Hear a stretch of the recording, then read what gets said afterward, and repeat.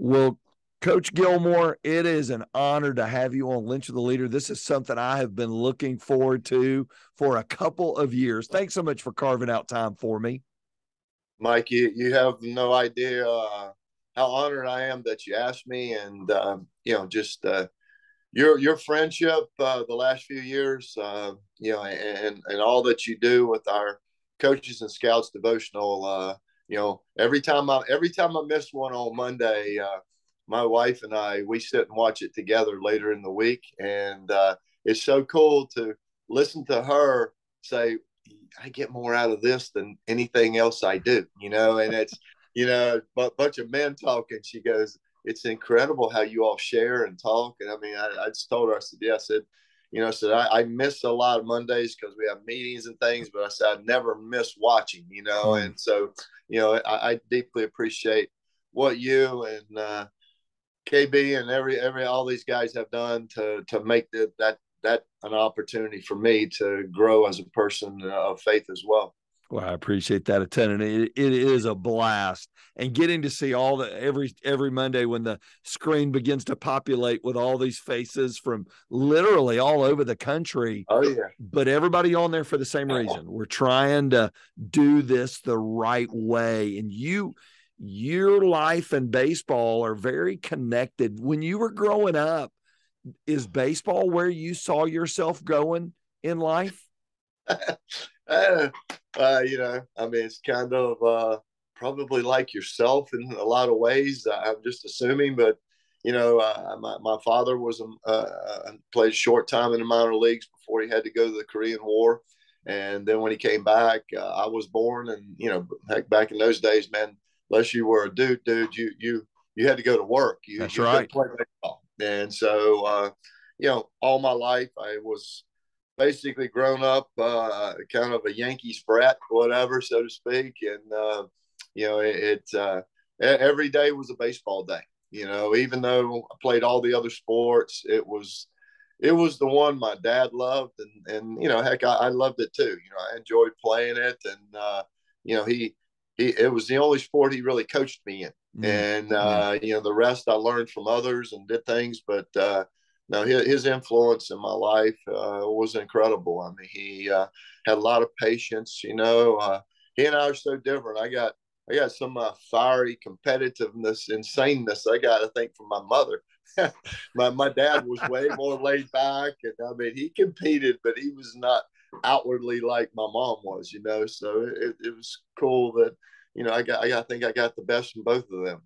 What's something you picked up from your dad in baseball that even today you find yourself saying to a player, thinking about when you're in the dugout and he wasn't he wasn't making millions of dollars doing it and nobody paid him paid an instructor to teach him but he learned it what's something you picked up from your dad you still use in the game of baseball well, he, he was he was always that glass half full guy, mm. you know, and which is very contrary because my mother seemed to be kind of the glass half empty person, and so you know that you know that all that equal you know the opposites attract one another. So it was very interesting. You know, I think for me, you know, he was the guy that always helped center me. You know, mm. helped put things in perspective for me. You know that you know that that the world and life wasn't over you know if i didn't get a hit or i lost the game on the mound or whatever and that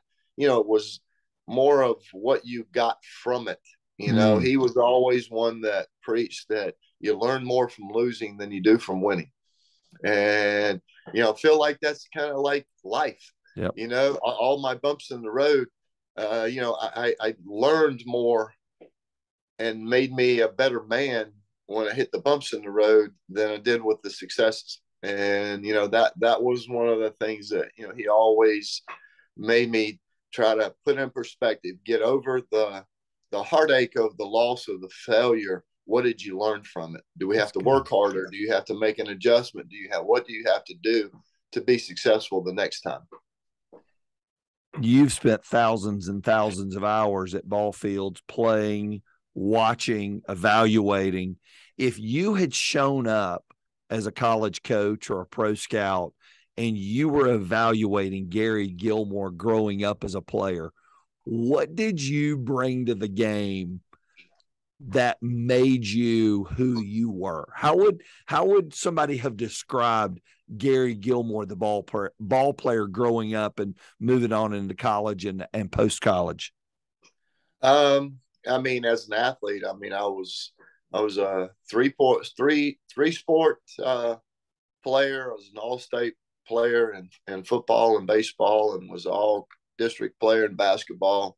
Um, you know, my I, I think my the traits I had physically were I was incredibly fast. I could really really run.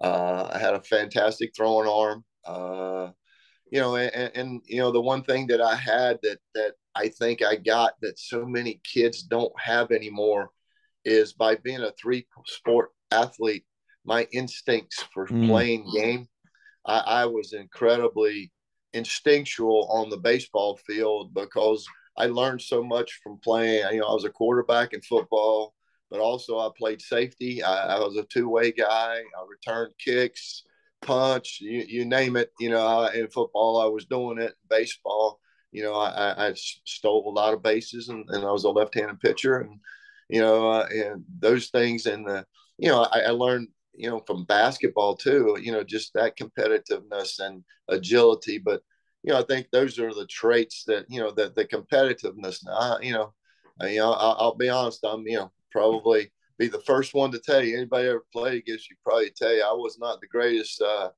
I did not show a ton of Christian traits out there competing, man. I, I was gonna get out your rear end. So we might pray together at some point, but one going to be between the white lines. I can promise that is that. fantastic. that is fantastic. Do you think, and I'd love to push in on that a little bit, do you think that's a lost art with kids now that specialize starting at nine years old and they only play the game of baseball? They don't play any. I was talking to a quarterback at, at the football field. So he's a two way kid. He's a backup quarterback for us, but we'll play on Friday night. Then at 9 a.m. on Saturday morning, he's in a travel ball tournament pitching and he hadn't thrown all week. Yep. Do, do you think that kids specializing in one sport has hurt the instinct part of the game? I, I think it's hurt everything, mm. to be honest with you. Not just the instincts, Mike.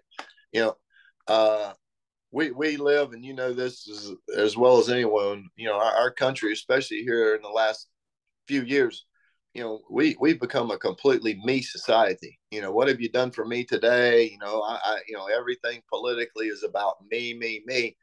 You know, so many of these kids now that play just one, let's say they play just baseball, they miss out on the teamwork and the camaraderie of football. Football is a, you know, you, you can like football or not like football. You, you can not want your kid to get hurt playing it and the whole nine yards, but football teaches you a lot of things about yourself. Yep. You know, I mean, heck, I was a scrawny 155 pound kid out there trying to tackle 220 pound running backs that got ahead ahead of steam up. And I had to decide whether I was going to be man enough to stand in their way or I was going to get out of the way. And so many of the kids nowadays that that that that little bit of toughness that you know that that moment in time where they have to decide to be a man. Mm.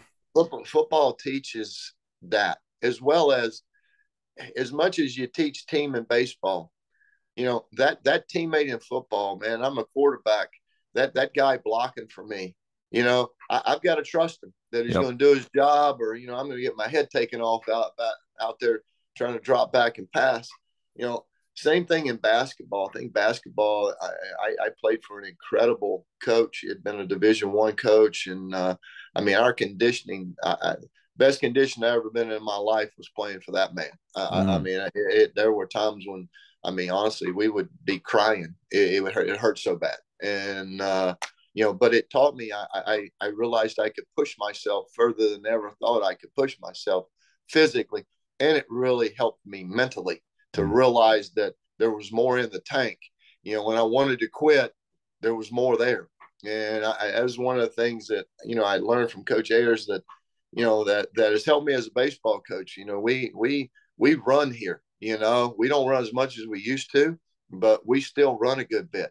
And a lot, you know, the guys they they get bent out of shape. They look at it as punishment. For me, mm-hmm. it's like I want to know who physically can do it, but also I want to know who mentally can overcome the physical hurt and continue to push on.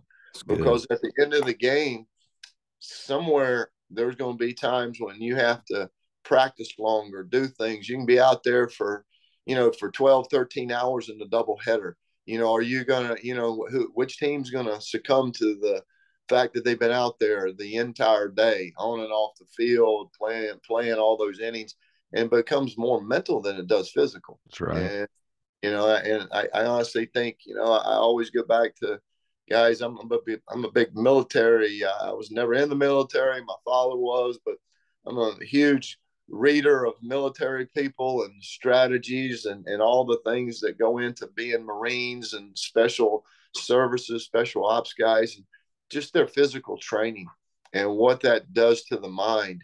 You know, it's it's kind of a, in my mind, a physical way of getting to a place that fasting gets you. You know, where the mind is is in control. You know, of the body completely yep. and totally, and uh, you know, it, it's just very interesting. I I do think we've gotten away from all of that, you know, and not being guys not playing three sports. All of those things come into play. You you get something distinctive from each sport that you play, not just the skill part, but it's the teammate part. That's it's, right. You know, it, it really is. And, and kids, I, I I say it to our kids to their faces. I mean, they they're they're as nice a kids as I've ever coached and they want to do things they want to learn they're not bad kids by any stretch they just there there there's just no toughness to them when it comes to individual toughness to be very honest with you they they they've never been pushed mm-hmm. you know they've never been allowed to fail mike you know i think that's probably the number one thing that you play enough different sports you're not going to always, you know, unless you're Michael Jordan, you're not the star in everything right. you do, you know. So you have to learn to be a subservient teammate. You know, you might be the star in this one, but you're, you know, you're just an, an average Joe in the next one, and how you learn to deal with that and strive to be better and to be a great teammate. We we've lost in this country, and especially in sports, how to be great teammates. Mm. We we work at that. We work at it all the time but it's very difficult. If you could sit a parent down whose kids are nine and 10 years old, and you were to give them some advice from your playing days, which were incredibly successful, your coaching days, which have been legendary, what advice would you give a parent of a nine or 10 year old about if you want to raise up your kids and they're going to excel? What, what would you tell them and what would you advise them? that was that one for me is an easy question in that the number one thing I face every day here and that I see everywhere. Our parents now, they're wonderful parents. They're they're the helicopter parents and everything every other uh, connotation you want to want to put on them, hovering over their kids. The problem with parenting today is we don't want to allow our children to fail. Yep. How do you grow if you don't fail? These kids come to me they have never failed, never mm. been allowed to fail. They they get to school, college, they don't know how to deal with competing against another player. They don't know how to deal with the failure. Well, you know, this guy's pretty good, and I'm not quite as good, and I'm failing, and this is happening. How how do I deal with it? They have zero uh, ability to function in a failing situation and anything to lean on because every time they fail, this generation's parent jumps right in to mm. save them. You know, they change schools, they change travel teams, they they do everything to not allow them to fail. It's the worst thing you can ever do because when they get out in the real world, I mean, shoot, Mike, look around. Heck, right. it, it takes most of our college graduates three, four, five years to land on their feet because they get out of college they don't know how to deal in the real world. You, you fail in the real world. That's right. You know, and, and they have no skills. At least, at least for our guys, you know, I feel like you know we we do a lot to try to help and address that. But uh, honestly, I mean, it, just think about back about when you played. Can you imagine if someone would have told you to go uh, see, you know, hey, Mike Linch? Yeah, you didn't pitch very good yesterday, man. I see your head's down. Go see the, uh, uh, you know, go go see the shrink over here, the the sports psychologist we got on campus. You need to go see this guy. You know, I mean, we we'd have laughed you out of the locker room. Yep. You know, back in the day. You know, now it's commonplace. I, I, I mean, I, I would be willing to bet before the year's end, virtually 50% of my kids will go to see this guy at least one time, mm. if not multiple times, because they don't know how to deal with it. Right. You know, they don't, they, they need someone to talk to. Mom and dad are the, you know, a lot of times are the last ones. You're, you're a dad. You understand how that goes. You know, by the time it gets to you, it, yep. it's a real problem, you yep. know? And, and so, you know, it, it's just parent parents are missing the boat. You know, I tell my children, I said, I probably didn't do as good a job with that as I should have. That you all need to allow them to fail. It's yep. not bad that they cry because it didn't work out. You know, something needs to motivate them to do some things on their own to overcome the failures that they have because all of us like i said all of us aren't michael jordan That's you right. know all, all, of us aren't babe ruth you know it just it just is what it is and, and somehow you have to figure out how to how to balance that. And the realities is, re- realities are we're shaped by those failures and those failures are what set us up for what we're going to do. There was a day that your playing days came to an end. All of oh, our oh, yeah. playing days come to an end. Some are at nine some are at 29 or 39 or 49 but everybody's days come to an end. When your days finished as a player I know you got in scouting for a little while, then got in coaching. What made you choose the coaching route as where you saw your career path going? Unpack that a little bit for me. Um, and that was another fairly easy one for me in that I always knew um, my, my dad had coached when he got out. I, he, he was a salesman his whole life, but you know, he coached every single year he coached in the spring and the summer he coached some form of baseball. And uh, you know i always knew that whenever my life as a player ended that i wanted to you know i always always thought growing up i would be a pe teacher and a high school coach. That that's what i thought i would end up being. Then i got to college and realized man I, this is a way bigger better gig than than a high school coach. You know i can actually go find my own players and things. And you know, the scouting thing was really good for me because uh, actually a guy I worked for you, I'm pretty sure you pr- probably know or met Roy Clark. Oh gosh, yeah. Who, uh, yeah, Roy and I grew up together. So, you know, I was one of Roy's Roy's uh, bird dogs for for three years, and uh, you know, um, it, it just it that part helped me shape myself as an evaluator. Mm. And the one thing I learned very quickly was you know, just because I like a guy or I find a guy as a scout, I can dream upon what I think I can do to help that kid and, and make that kid and kind of nurture and sculpt that kid into what I see in my eyes he can be.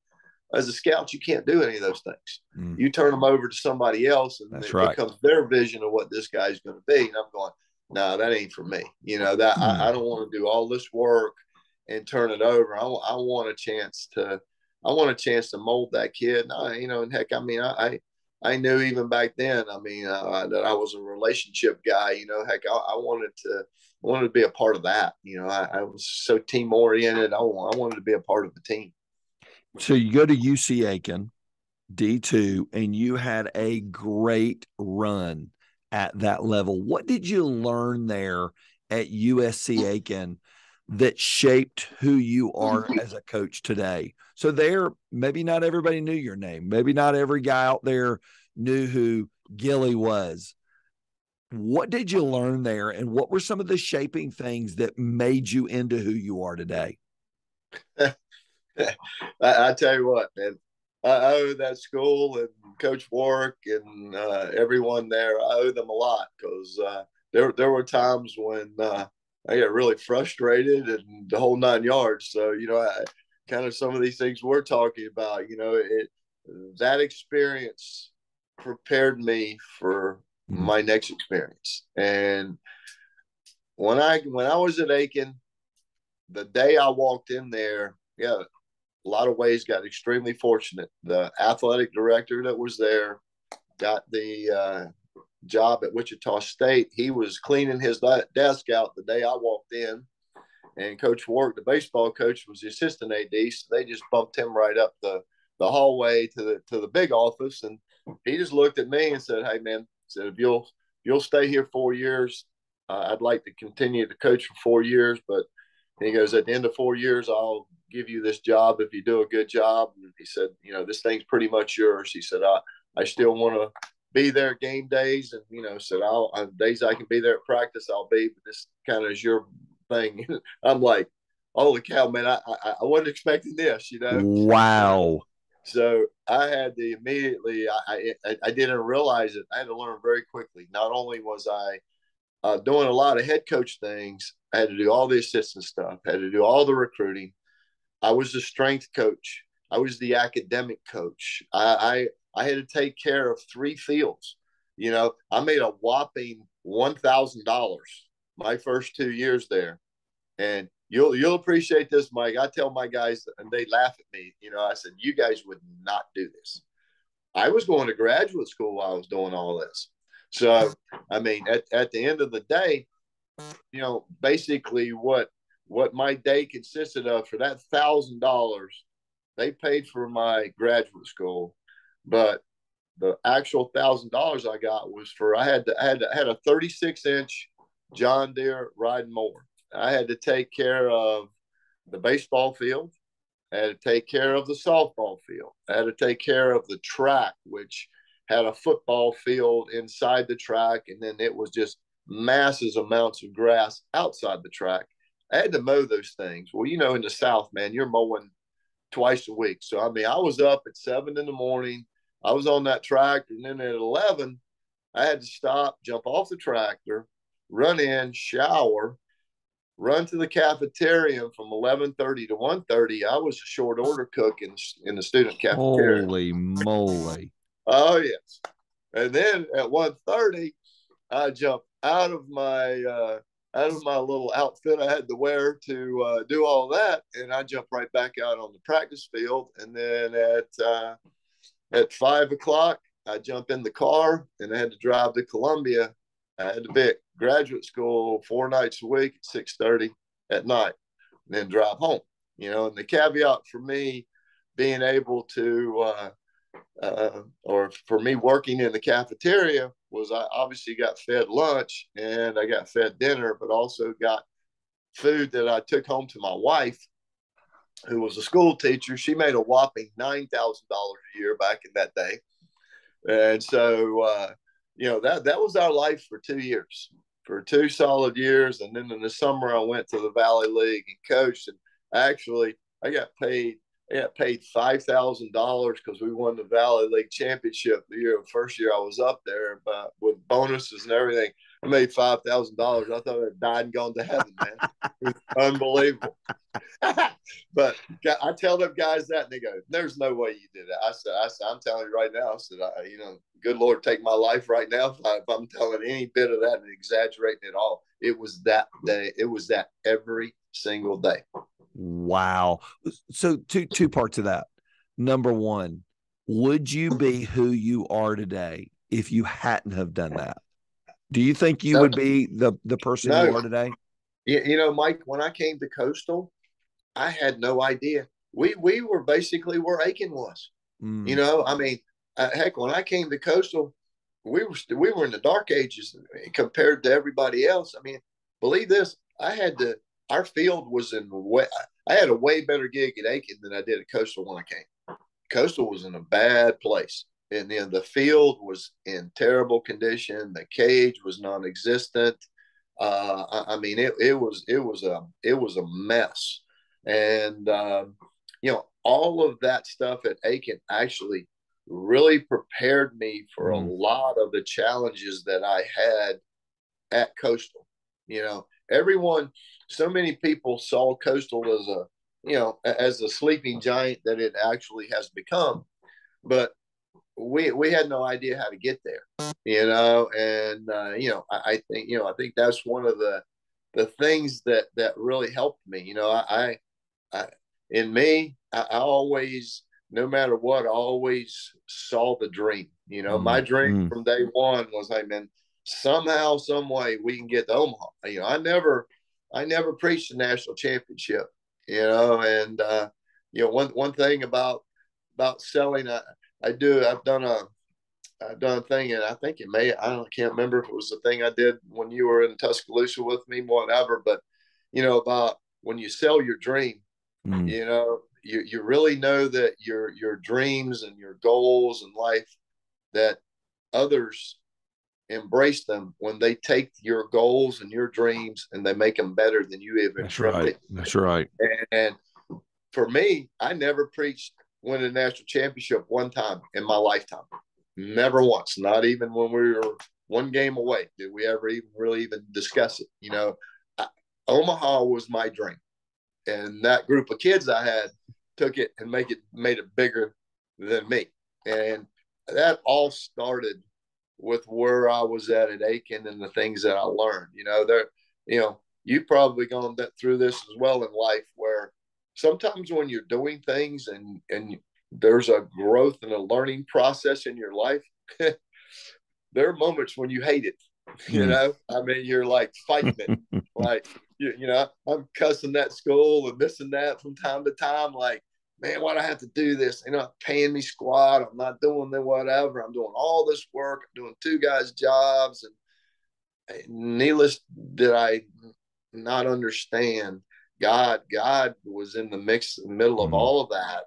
You know, He was preparing me to put me in another place where I knew I wanted to be, but also I believe, you know, that that you know, obviously God has He knows all these things, so I think He was preparing me for that opportunity on the grand stage to, you know, to to bring glory to Him you know, and, and, you know, I had to go through all these things. You know, That's I right. Had to, prove, had to prove I was worthy. So there's a guy listening, a lady listening right now. There, maybe maybe the guy is a he's a GA or he's a young assistant coach at a D3 or a small NAIA. He's got a dream of one day being the head coach at a major university, or they're sitting in a cube at their office they they watch the boss walk by and go, man, one day I'm going to get that corner office. What would you tell them to do now that will prepare them for what their dream is later? What what advice would you give them? To Just be true to yourself. You know, just just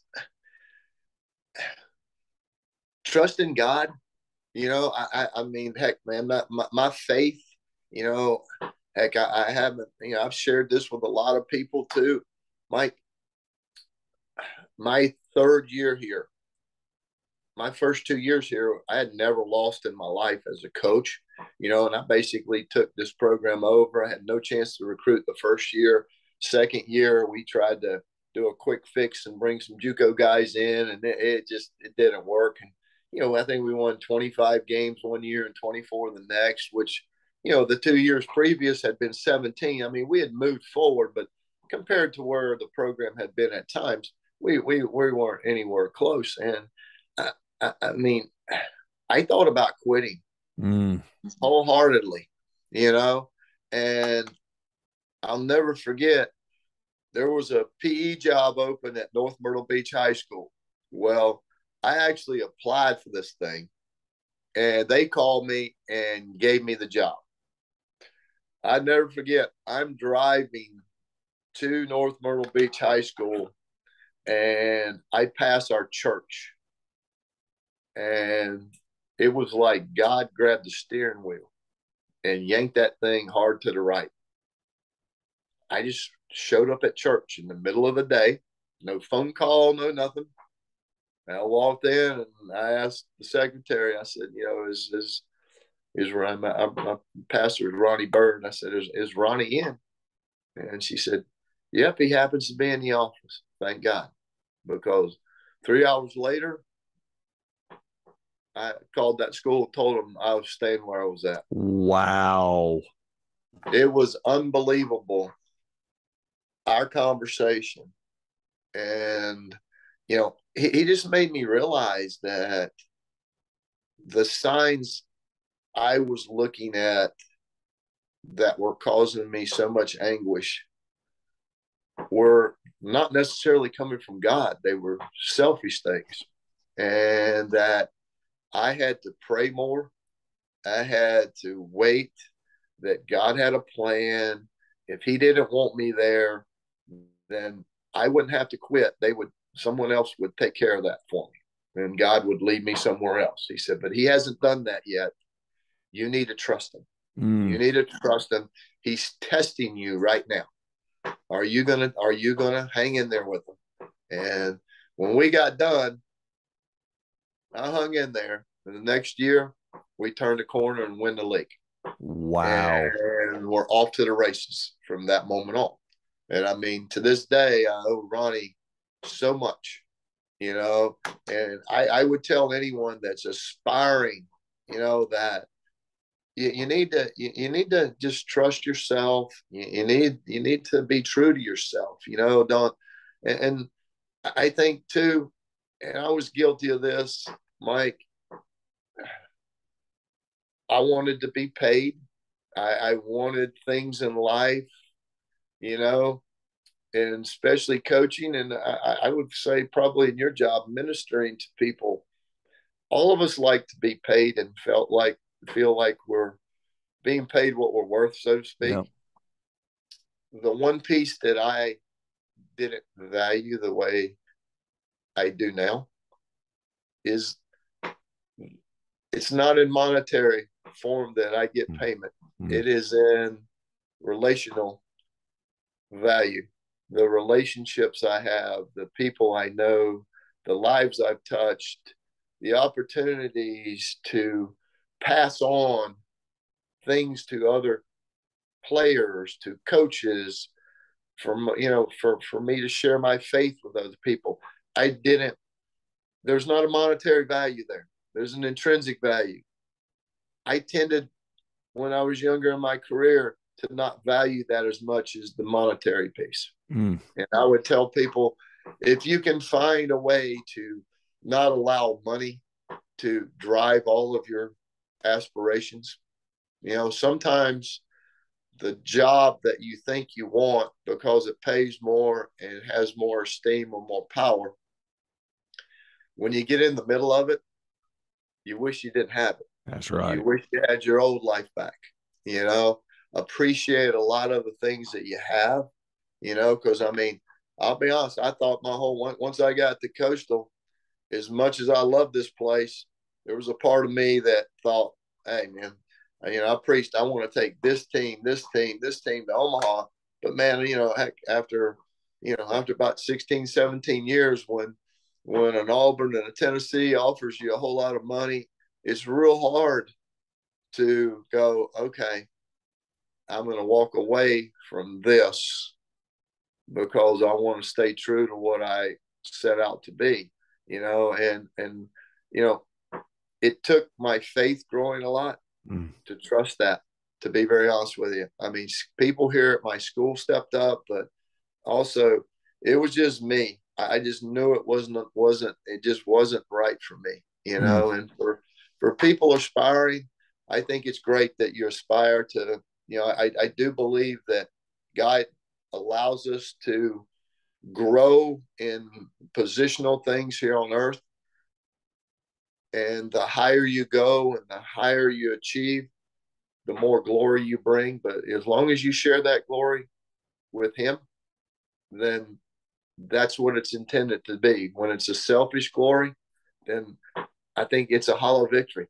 Mm. Personally, you know, I, I, I mean, I really do. I mean, there there are guys out there making four or five times what I'm making, but hey, man, I I, I wouldn't trade where I'm at for all the money in the world. I'm in I'm in a place that I feel for sure this is where He wants me to be, and it's an opportunity to shape and mold lives, you know, in, in, in an environment that I can do that. I really think some other places that I could be wouldn't allow me to be the person that I am here.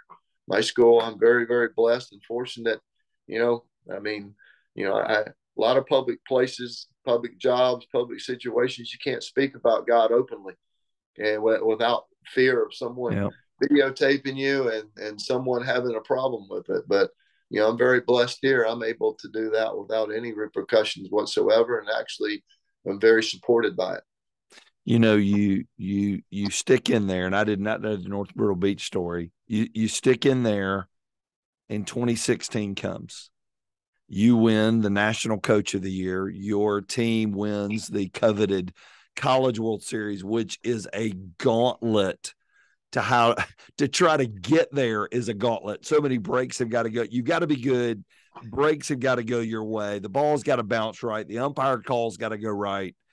When you stood there at the end of that game and you hug the necks and you're high fiving and you're getting the, the championship, what was going through your mind when you stood in the middle of that diamond in Omaha and went, we're the only team in America, Division One, that didn't end the season with a loss when it mattered. What did that feel like?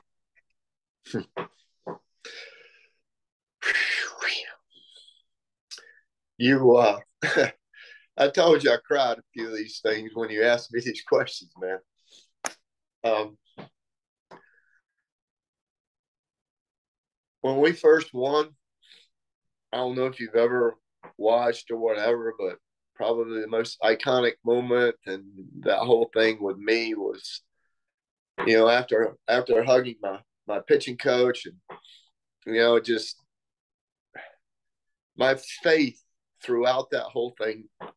People people have no idea, Mike. Um, I don't think God picks and chooses who wins baseball games. That's right. You know, I, I, I don't think, but also I do think the things that I ask him along the way, if you ever watch our games, ever, I've got all of them on video. You go back and watch. Watch me. You ever see me and, and watch any of those games? Watch, watch, watch me at third base in Omaha and LSU and all those places during that run. You'll see me with my hands like this at third base down by my side I'm not praying ever to win.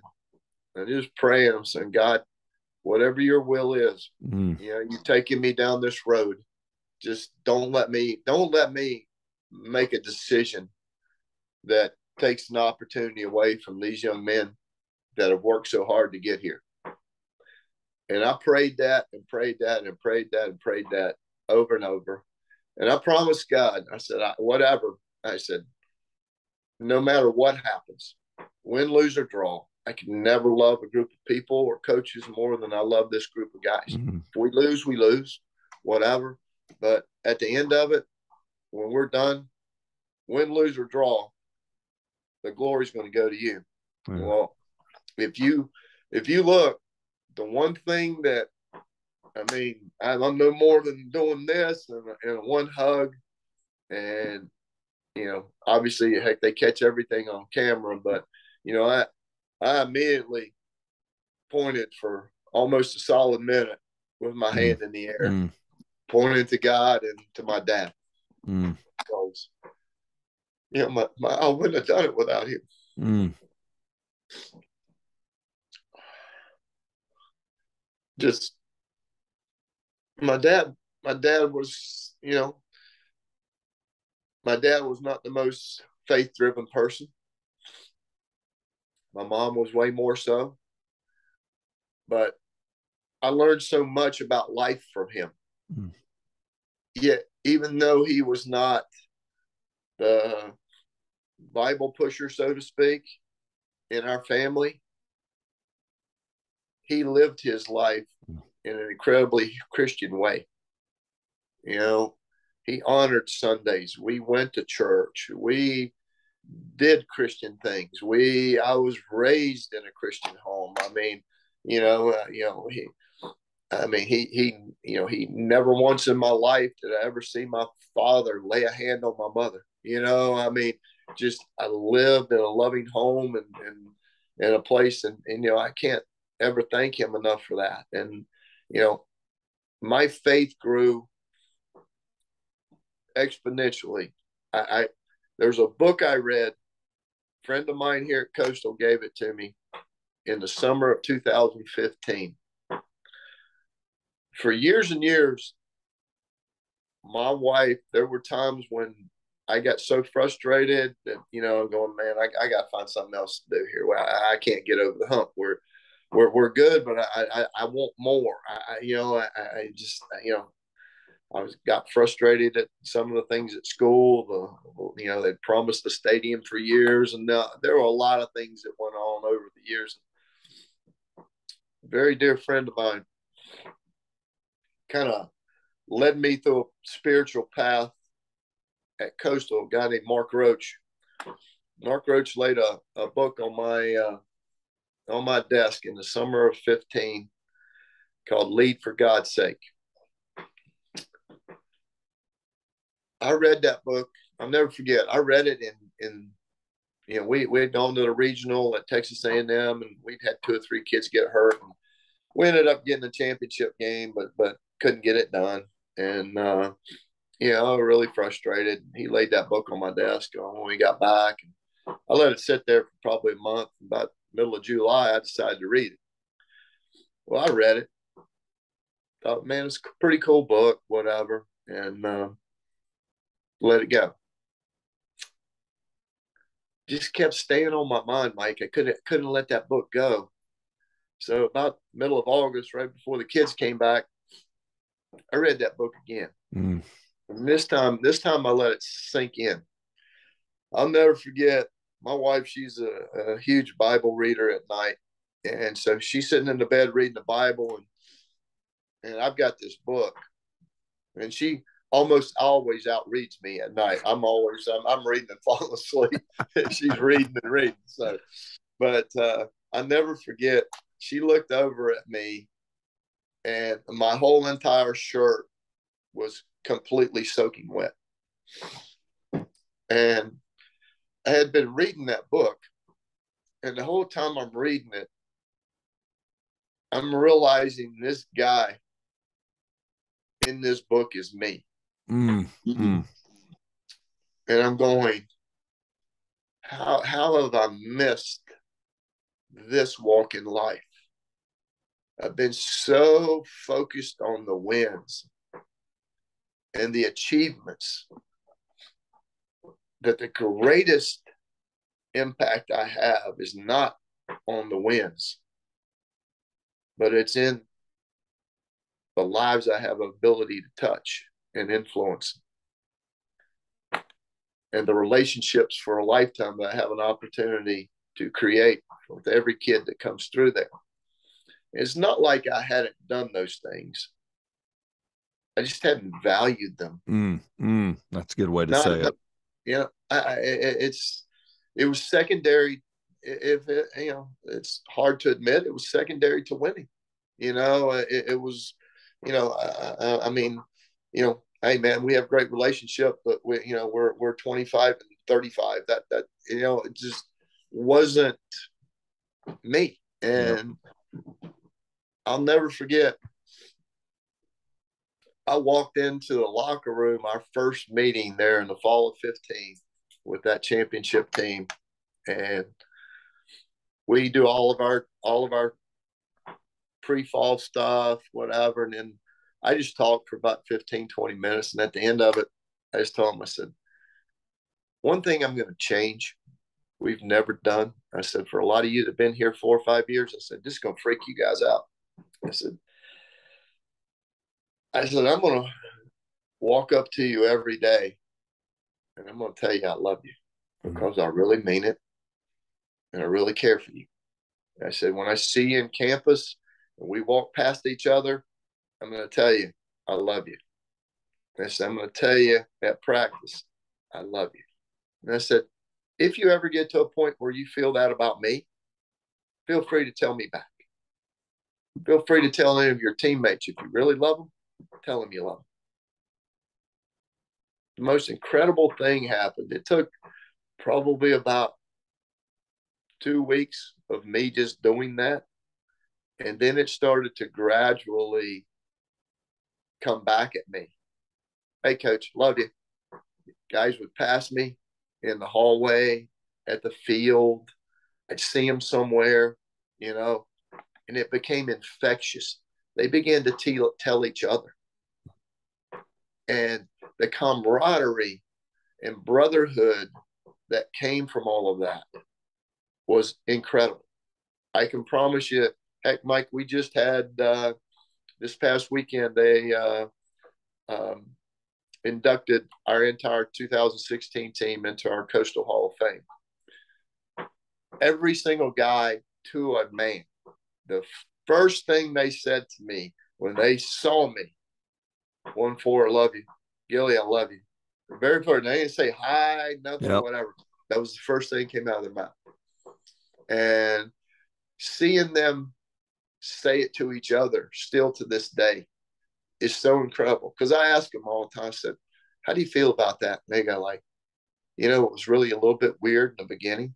And now people look at us like we're a little bit weird when we're out somewhere and we're 30 years old and, you know, yep. we're telling each other we love each other. But they go, Coach, till we quit breathing, that will be how we talk to each other yep. because we really mean it. And, you know, they go, the, the brotherhood we have here amongst ourselves as a team is incredible. I mean, it was, we only had three guys off the whole entire team. And, uh, you know, two of them, uh, two of them, uh, one's in the military, one of them's a football coach, a college football coach. And the other one uh, had a, had, had, his brother was getting married, so he had he couldn't be there, but everybody else came back, and I mean it was it was like a love fest to be honest. I mean it was so cool to see, and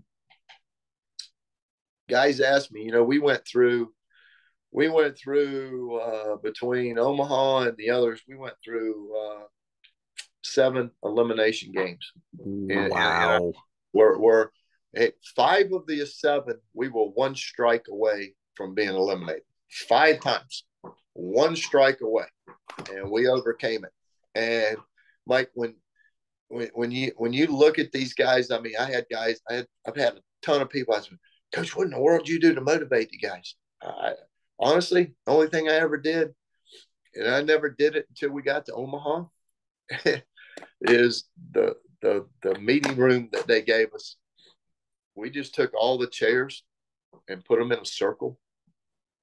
And I just told them that once once we got beat that first time, and we had to go through uh, five elimination games during that thing, or six, excuse me. And uh, you know, I would just tell them, say, hey, we're going to spend 10 minutes before we walk out of the door and get on the bus. Each time I would tell them, say, look at the guy across from you, look at the guy on your left, look on the right, eyeball him, lock eyes with him. Realize and understand when we walk out of here, if we lose within 24 hours, the chances of us ever as a group being together again will be over. Yep. We get back, we're scattered, and we're gone within a day, everyone's gone.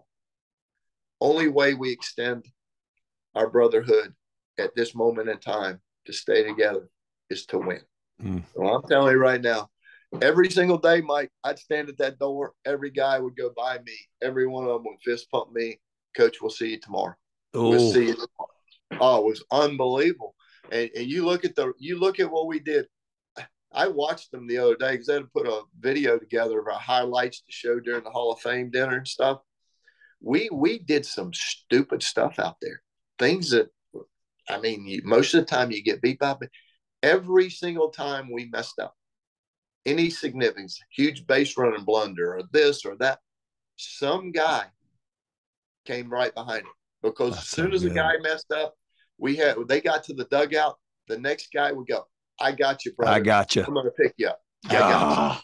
Oh, it was unbelievable. And, and little and little did you know, Coach, that all of that was going to prepare you for a season of your life you didn't see coming in Absolutely. the area of your health. And yes. you get a diagnosis of cancer, which you have battled in incredible ways what did you find out about yourself? What did you find out about your faith when you got that cancer diagnosis and found out how tough this is actually going to be? What'd you find out? I'll never forget the uh, I had a was on a Sunday, uh, late January of 2018. I had this massive pain in my left hand side of my back, and you know back you know back in the good old days, uh, you know of, of of Google and all that mess. You just get on the internet and start start dialing up. Okay, yep. what could this be? So you know, I self-diagnosed myself with uh, a kidney stone, and so my wife goes, "Let's go to the hospital." I said, "No, nah, man, I am not going to the hospital." That's you know, that was right when COVID was starting. I said, "No, I am not doing that." And I said, "I'm going to somehow tough it out." So I'll never forget. I, I didn't sleep a wink Sunday night. I thought I was going to die a couple of times. It hurt so bad, and the urologist I, that I went that I go to, his two young sons go to my baseball camps, and I had his cell number. So I called him at six thirty in the morning. I said, Doctor Wood, I said, I, I, said, man, I said, I'm dying. I said, I got this pain described or whatever. He said, uh, get in the car, come straight to my office. He goes, uh, I'll take an X-ray. We'll see. We'll see if we can figure out where it's at, how big, blah blah blah. Well, I go there and he's running everything all by himself. His his assistant had his his nurses hadn't got there or whatever. So I'm not sure he actually knew how to do all this stuff or not, whatever. But he takes an X-ray of of my uh, uh, kidney, and the X-ray is cloudy. Mm. It's not definitive. He can't see the kidney stone. So he calls the hospital. He sends me up to the hospital, and I do a CT scan. And I go back to his office. About two hours later, he comes walking in the office, and I, I mean, I could tell by looking at his face, holy, you know what? Yeah, something, something ain't right. And he looked at me. He said, "Coach," he said, "the the kidney stones right by your bladder." He said, "You'll pass that thing." He said, "I think probably the majority of your major pain is gone." He said, "Probably within a few hours that thing will pass and you'll be okay." he said, but uh, coach, we found something else. He said, there's a, there's a huge tumor mm. right up of your pancreas. He said, uh, I've already called the oncologist up the street at the Coastal Cancer Center. He said, she's waiting for you. He goes, you need to go there right now. Well, I thought my wife was, I thought she was done. I mean, she, you know, I mean, that as soon as he told her that, I mean, seeing her go crazy, you know, I, I knew that I couldn't be that person. I couldn't mm. do that, you know. And being very honest, I just I knelt down and just said a prayer. I just said, please God, you know, whatever you have for me, just help me be strong, especially for her. Help me be positive. Don't let me have a pity party. You know, that that that, you know, that if this is another challenge, you've challenged me my whole entire adult life. You've created mountains for me to overcome. You've led me down the paths. You've allowed me to fail. If this is another mountain that by me claiming it brings glory to you, so be it. Mm. Just bring bring it on. And I, I, I, ever since then, you know, I mean, you know, I mean that that whole thing's been an incredible whirlwind for me because I mean, you know, they misdiagnosed me originally. They told me I had liver cancer, which, you know, liver cancer is, you know, I mean, that's a very quick death sentence. You know, it's very few people live more than a year, a year to a year and a half, two years.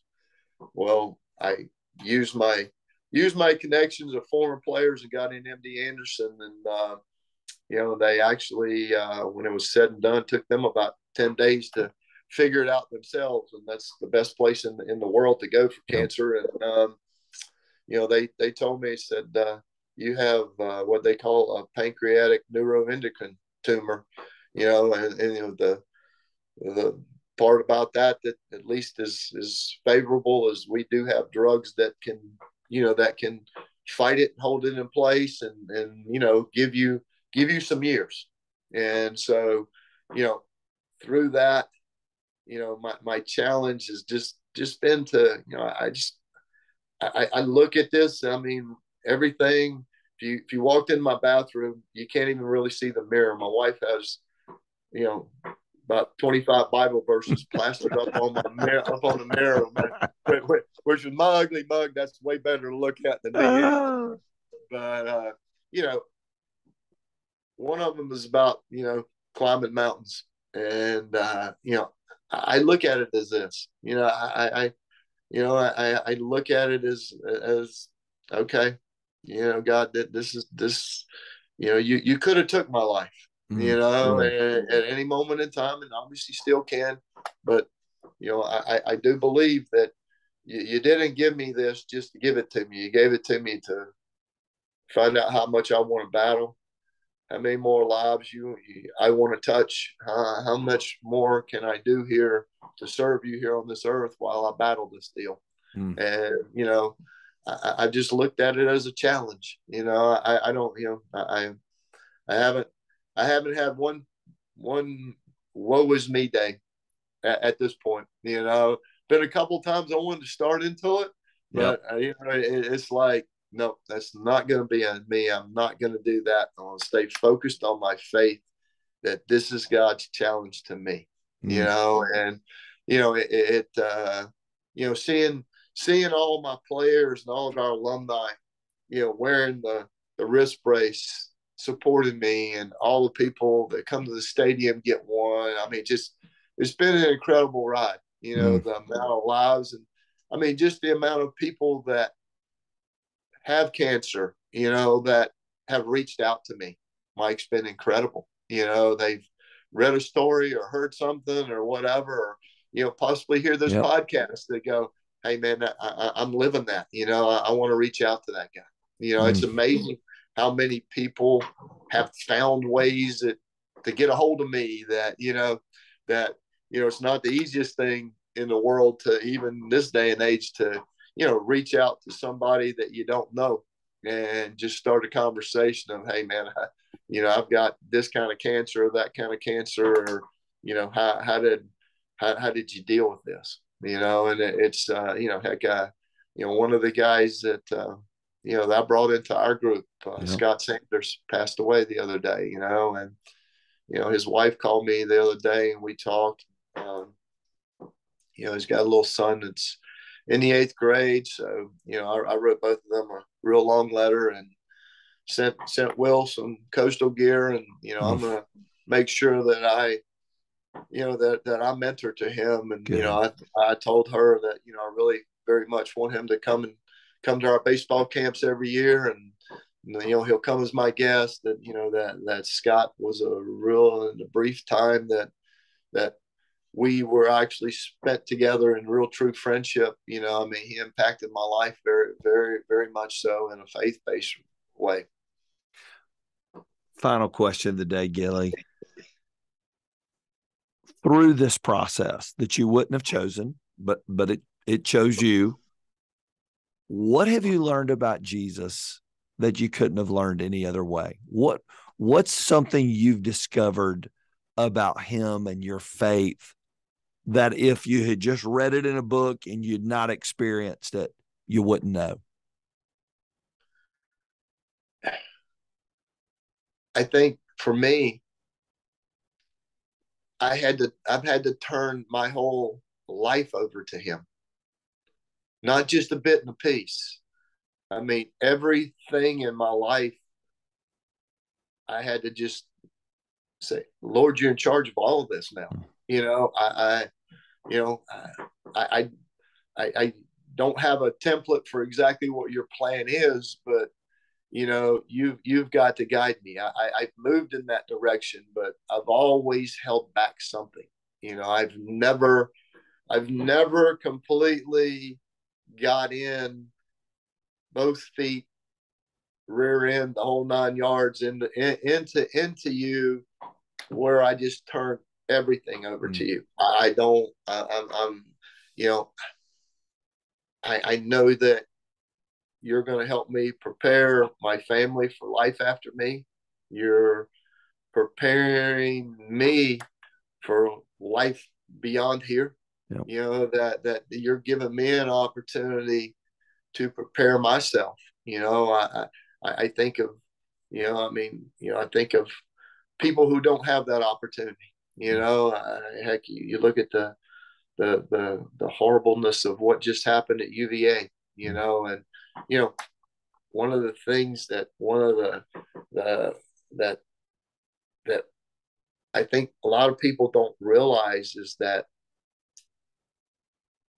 you can't, you know, I think a lot of people think that you, by being a Christian, you have to give up so many things in life.